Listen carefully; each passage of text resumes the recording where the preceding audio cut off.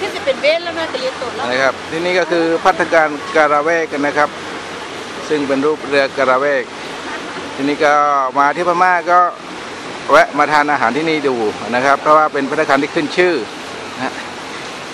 ครับสวยนะครับดูจากภายนอกนี่สวยมากเลยนี่ก็คือพัฒการการาเวกนะครับ